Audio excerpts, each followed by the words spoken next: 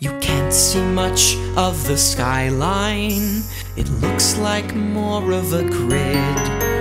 It's a viable variation of you, but it's something I'm sure we'll be glad that we did. It's not like the world that we see from the ground. I guess the main difference is we're looking down.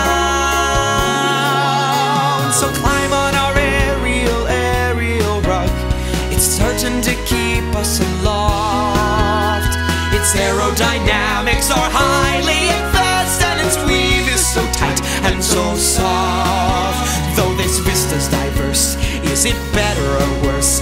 If you'll ask, I'll just give you a shrug. But you can vary your view